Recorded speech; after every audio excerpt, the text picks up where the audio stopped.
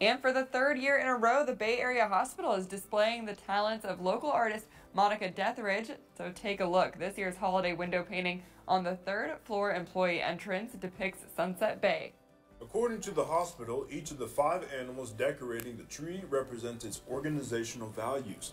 The dove, for example, represents the hope for peace throughout the world. Additionally, names of all hospital employees are hidden within the tree garland. Hospital says the window display is a way to express gratitude for the work employees do all year long.